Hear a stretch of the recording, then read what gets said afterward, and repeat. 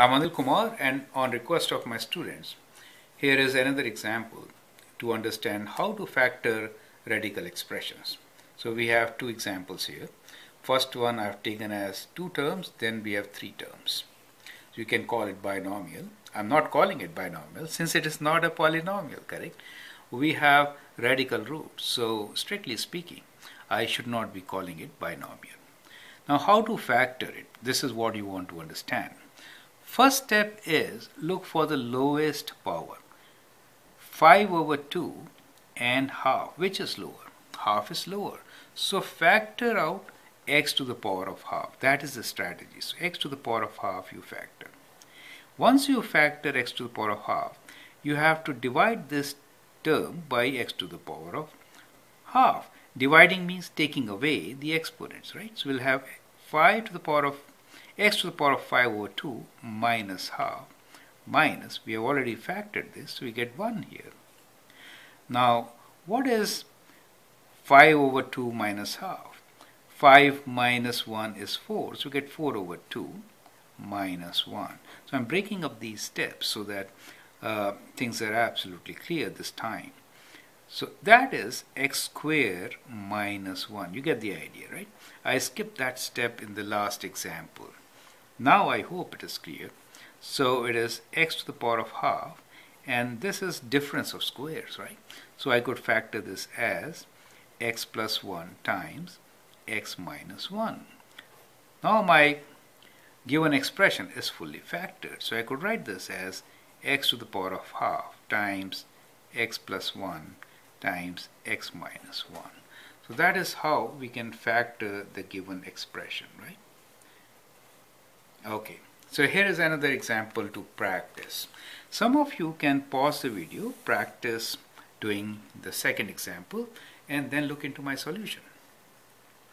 Now in this case, x to the power of minus half is the lowest power of x. So we'll factor that out. So we'll write this as x to the power of minus half, and within brackets, we get x to the power of 3 over 2 minus minus becomes plus. You get the idea, right? Minus of minus. Now the second term will be 2 x to the power of half minus minus makes it. Minus. We have already factored out this, so we have 1 here. Right? So that is what you get.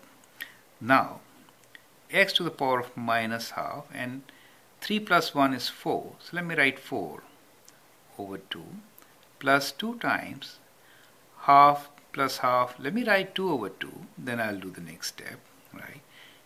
Kind of like this. And then we have x to the power of minus half. And the bracket, we get x squared plus 2x minus 1. You get the idea. Now that is a trinomial which we know how to factor. Product is minus 1 and sum is plus 2. So product of minus 1 and sum is minus, uh, minus 2. So that means minus 1 and plus 1. Well, that doesn't work, right? So I'll kind of change the question. I think there's a typing error, so I'll just make it plus. Okay. So I made it plus so that I could factor. The idea is to understand how to work with the radicals, right? There could be a typing error. So I just made it plus. Now we're looking for 1 plus 1 is 2 and 1 times 1 is 1. So I hope you don't mind that. So we can write this as x plus 1 times x plus 1 bracket close and that becomes x to the power of minus half times x plus 1 whole square right so that is how you can actually factor the expressions with radicals right so radicals are when the powers are like 1 over 2 1 over these are the radicals, right? In general, we say radical could be written as uh, n over, let's say p, right?